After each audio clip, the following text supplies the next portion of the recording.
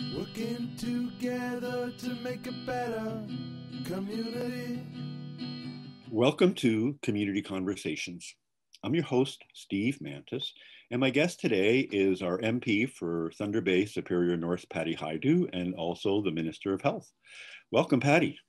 Great to see you, Steve.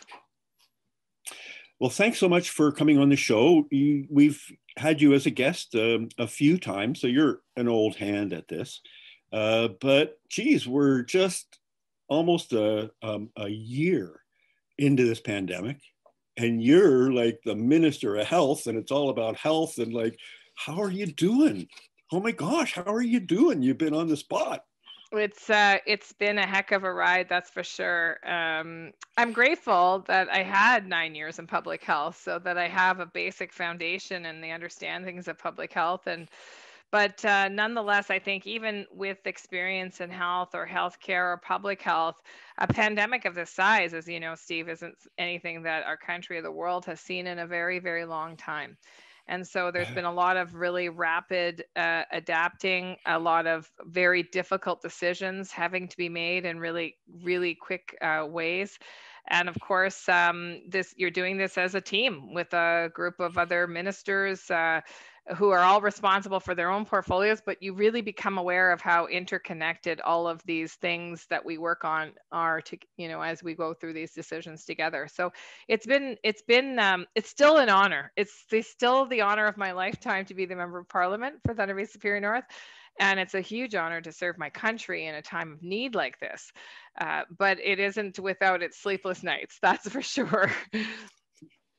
Well, you know, I definitely want to say that uh, the folks here in your riding are uh, are always uh, pulling for you. You know, uh, as many of our, our our audience would know, you know, you were the number one politician in uh, in our Walleye 2020 uh, reader poll, and and you've been consistently there at the top. So we're we're, we're proud of the job you're doing, and and we're definitely supporting you uh, in any way we can going forward in this kind of crazy time and I, I feel it. Listen, there there are listen, every politician at every level has a plethora of critics and people who think that they should, you know, we should do something different or we've made mistakes. And I will tell you unequivocally, I have made mistakes. Um, I have made mistakes as a politician and I have made mistakes as a human being.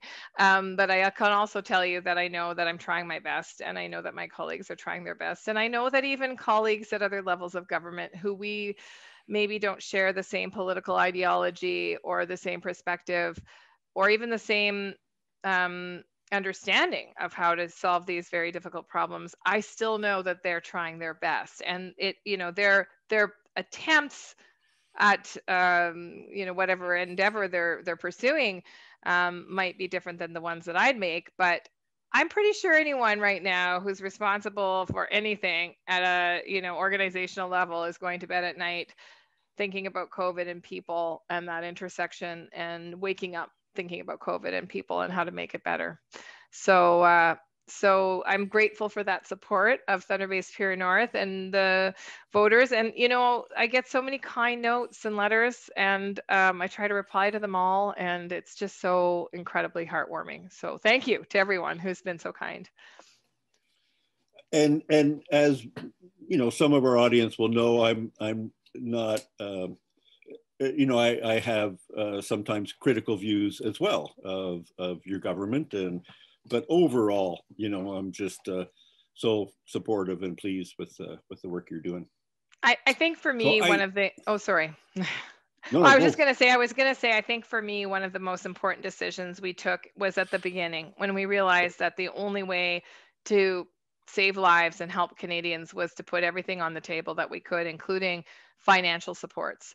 I remember those very early conversations with then Finance Bill uh, Minister Bill Morneau um, the night before actually we closed borders and all kinds of things happened. Um, he and i uh, you know we went for dinner and i said bill uh, this is massive like billions and billions. And do you remember we went out and announced a billion dollars? And i had said to him you know it's a great down payment, but it's going to be more. Because in order to help people to do the right thing to save lives, we had to take care of people's economy, um, people's economic realities, whether it was the CERB or wage subsidies or you know supporting provinces and territories without quibbling about who pays for what. Those were i think very important decisions that we took. And you're right there are always going to be um, analyses about whether or not it was enough or not you know too much but we did what we could at the time knowing that um, it was going to take an all hands on deck approach.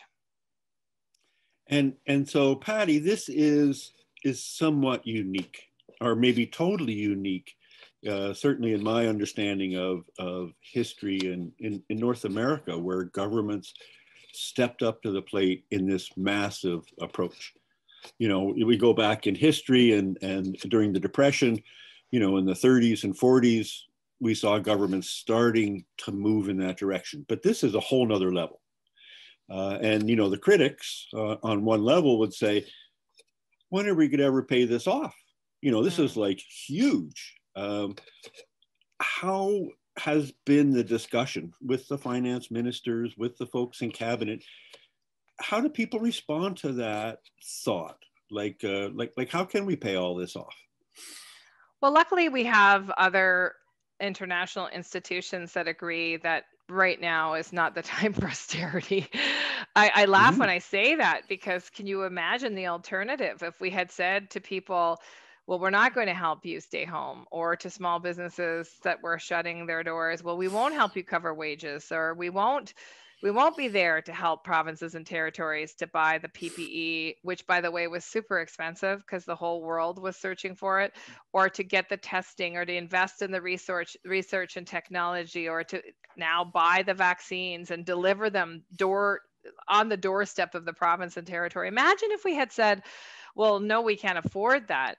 I mean, first of all, there's an obvious, a huge loss of life. You know, people cannot stay home if they can't afford to feed their families. And we've seen that around the world, countries that haven't been able to afford to do that or countries that have chosen not to do that have had worse outcomes from a death rate perspective, from a mortality perspective, from a case number perspective. But uh, secondly, um, we knew that the economy, if we could suspend it, if you will, by providing wage subsidies for small and medium sized businesses that had lost income, by providing low interest grants, by providing rent relief, all of the kinds of things that we did, if we knew we could keep people from having to go under and therefore we knew we would lose some of those folks forever, we could actually sort of sounds strange, but suspend our economy for a bit of a period of time so that we could actually come roaring back when uh, in fact we were more confident from a health perspective. We also knew that you there, there's a false dichotomy out there economy or health and uh, increasingly we're seeing that around the world that it's very very hard to quote unquote balance the economy and the health initiative or the health imperative um, if people are too afraid to go out, then the economy suffers. If people are too sick to go to work, then the economy suffers. If, you know, there, there, that is a false analogy that somehow you have to, or false dichotomy that you somehow have to pick between one or the other, or that you could kind of balance health. Listen, at the end of the day, um, protecting health is the most fundamental thing you can do to protect the economy. And as the as the Minister of Health, uh, you know, I looked at your mandate letters and I'm kind of going, geez, I'm glad I'm not the Minister of Health. I mean, if I've got three things on my to-do list, I figure that's enough. You've got like 35 or something. There's a uh, lot. And and and so when we think about protecting health, you know, in your mandate letter, there's a number of, of key factors. Uh, you know, one that's uh, in the public uh, discourse right now is, is pharmacare. That's uh, absolutely right.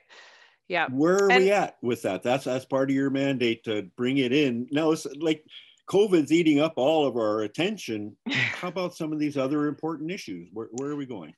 Well, quite frankly, for the first several months after being appointed, um, all we were doing was COVID. It was very hard. Uh, you can imagine the capacity of the agencies was fully consumed with COVID and then with some of the ancillary challenges of COVID from a health perspective, so mental health and substance use, which were um, obviously growing in uh, concern along with uh, the impacts on our society. So we spent a lot of time in those first several months really focused on COVID and COVID response.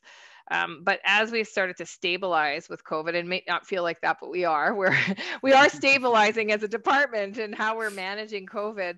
Um, we were able to refocus on some of these other mandate items, um, including pharmacare. I will note that virtual care, uh, access to primary care through virtual means, is coming along really, really well. uh, provinces and territories have billing codes now for virtual care, something we thought we were going to have to wrangle out of them there for a while, but uh, lo and behold, I can check that one off. Uh, people have access to primary care in a way that they, in a way that they haven't um, in, in the past uh, solely because of virtual rea- the virtual reality we're living in, no pun intended. Um, but in terms of pharmacare, we have we, we took really important steps in the last mandate, and we're we're moving along, I think, very well. Uh, there was um, uh, a recommitment in budget 2019. There's a Canada Drug Agency that has stood up. I'm on the cusp of announcing um, an interim lead for the Canada Drug Agency. That person's responsibility will also include coming up with a national formulary. There's some work already being done on the rare disease strategy. In fact, it's out right now for public consultation for families. Provinces and territories have consulted on that already. There are provinces and territories that are excited about pharmacare, others not so excited about pharmacare. But I think that with a growing um, need for pharmaceuticals and a changing landscape that COVID, quite frankly, has presented to both people, uh, but also employers, I think we'll see a growing appetite even from those provinces that maybe weren't as keen pre-COVID to to participate. And we've got money. Um, you know, we've got a commitment in budget 2019 and budget 2021. Is that where we are right now? is just around the corner. And so, of course, I've been having very important conversations with the Minister of Finance about what we'll need in terms of negotiating with provinces and territories. Obviously, we'll expect provinces and territories to put some money in as well. I mean, they have huge budgets right now that they're spending on pharmaceuticals through a variety of different um, uh, public pension plans that that they run, and there's an opportunity for all of the provinces and territories to see savings if we are more uh, cohesive as a country in how we deal with pharmaceuticals. So we're, we're important steps are we have been taken, but um, uh, I know that uh, I know lots of people were confused about the NDP motion. Um, and yes, our government did vote against it, uh, largely because of the imposition on provinces of territories of specific ways of doing this. And, you know, I will tell you, after even just a year in this portfolio, much better to work with them than to impose a model on them. And given that we know that there are provinces uh, and territories in, interested now in what we can do as the next steps, I'm quite confident in our approach. So stay tuned. Budget 2021 will hopefully give you some more clues about the next steps. Well, you know, that really brings me to that dynamic of, of the working relationships around health between the federal government and the provinces and territories.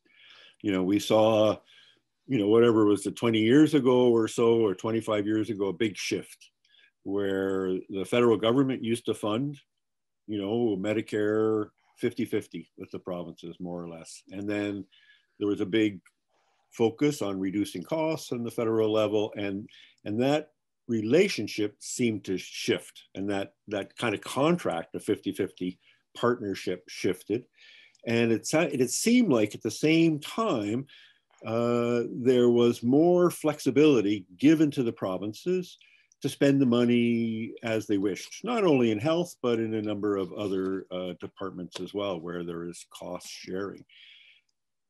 A number of the things on your mandate letters involve those relationships. Uh, the mental health was another one, and, and national standards on mental health uh, and access to mental health. Uh, and, and I'm kind of going, okay, how does this play out? Because uh, you can't just decree this happens. There's got to be some level of, of negotiation and cooperation. And the provinces consistently are coming back and saying, okay, you want us to do this, where's the money? Yeah. You know, well, I think going I think back two, to that 25 I mean, I years ago. Yeah, I mean, I think two things. You've sort of hit the nail on the head. Um, you know, more money and less accountability is not a world that we can live in. I think that COVID has shown us that. I mean, there are different levels of care and long term care, for example, across the country that are just mm-hmm. abysmal. And, um, you know, I don't think um, now's the time for the provinces and territories to say more money, less accountability. In fact, I think what Canadians are saying is no matter whether I live in BC or Alberta or Ontario, um, I should have an equitable level of care uh, to, to a certain degree. And of course, we know that we know there'll be variations and we know there'll be different ways of delivering that care. But I agree. And I think the challenge has been that um, you know, as you point out, the transfers that we've agreed to have been hard to track. And it's it and, and that is, you know, that is the nature of our federation. We live in a federation where constitutionally the provinces and territories have the right and the responsibility to deliver health care. And the federal government has very little tool uh, tools, or we don't have very many levers, if you will, to determine or dictate how that is. But we do have these principles that underline the Canada Health Care Act. And I just tabled actually, if anyone's interested, the the report on, on the Canada Health Act is tabled every year um, about provinces and territories who have violated those principles the most important being that care is provided based on need not on based uh, not based on ability to pay. And so um, you know our government actually reinstated imposing penalties sounds ironic by financial penalties to provinces and territories saying if we have evidence that you are allowing billing for care that should be considered free uh, or equitably accessed by your population, then we will apply penalties. And so a number of provinces did receive penalties, and they range depending on the amount of billing evidence that we have that has happened. Um, most notably, New Brunswick, which does not have equitable access to reproductive services, including abortion. And, and there was a clinic that was um, forced into a position of having to bill people to cover their costs as they weren't funded by the province. Those are the kinds of situations where we can exert some pressure. We also during the COVID um, safe transfer agreements, um, $19 billion went to provinces and territories. Very, very hard to negotiate um, specific measurements. And we saw, we saw what happened. I mean, some provinces and territories rapidly scaled up, uh, for example, um, testing capacity or data capacity or uh, provided the top up pay to essential workers. Other provinces, not so much. In fact, you know, we saw some provinces um, sitting on money and it was unspent even as late as uh, end of this summer or early fall. 93 cents of every dollar spent on COVID has come from the federal government. So we're there, but we do need, um, with these types of transfers, I think Canadians expect us to agree on some outcome measurements that demonstrate that they're getting they're getting their money's worth. And I think um, that's always those are always delicate discussions because again back to the constitution the provinces and territories do have the jurisdiction to deliver health care and the, the federal government's a, a, a powerful partner in that but we do um, we do have some limits in terms of control that we can apply. And and so in a way this is this is such tricky issues. Uh, so you know 93 percent of the costs have been covered by the federal government. That's so unique, right? In terms of it is. I mean, take vaccination funding. for example. Normally, influenza vaccines are purchased by the provinces and territories, and we do the purchasing for them, but they actually are billed for those um, medical ingredients. And we, uh, when we purchased the vaccines, you know, uh, um, very expensive. We decided that this was not the time to um, charge the provinces and territories for what we considered an essential ingredient to Canadians' health and to the uh, our economic health as well. Um, the same on on rapid tests and and testing supplies. Uh, the same on personal protective equipment. Uh, so we you know we've been in that space of not squab not squabbling, uh, not quibble quabbling with uh, provinces and territories on COVID because the, there was a mission critical uh, goal here. Um, but we do expect uh, with some longer standing programming money um, that there are uh, there are standards that are developed and and this has been difficult. It was started by my predecessor Jane Philpott, as you know, in the area of mental health. Um, and those standards are are underway, and I think we're getting close to a conclusion. Um, but the, it, but it's a new a newer way of doing healthcare transfers for sure, and um, you know, not everyone's a fan, but I think Canadians by and large want to know uh, how come they live in a province, for example, where they can't access uh, safe supply uh, uh for for substance use, you know, which is uh, um, a point of contention for folks that live in some provinces that ideologically are opposed to harm reduction.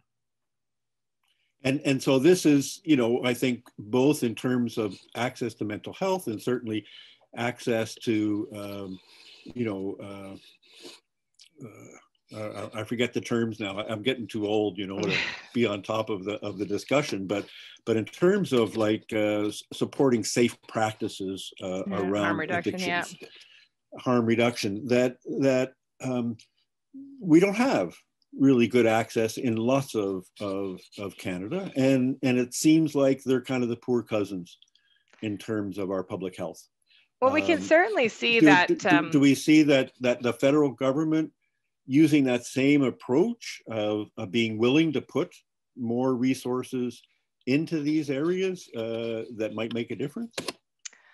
Well, I think if we can be certain that the money is going to actually um, mm-hmm. you know, uh, result in real change for people on the ground. And that's always the challenge with the request for transfers. Listen, I was a minister of employment. We had very similar conversations around skills training transfers, mm-hmm. um, you know, and it's always a delicate balance. How much do you want to control as a federal government? Uh, how much should you control as a federal government? How much do you leave up to provinces, territories, even regions?